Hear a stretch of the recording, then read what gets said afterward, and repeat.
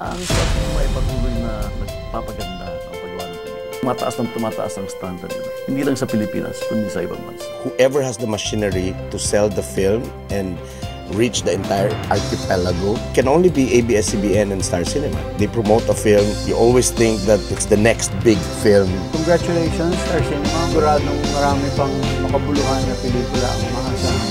for bringing Filipino cinema into our living room. Bahagi ka na sa buhay natin.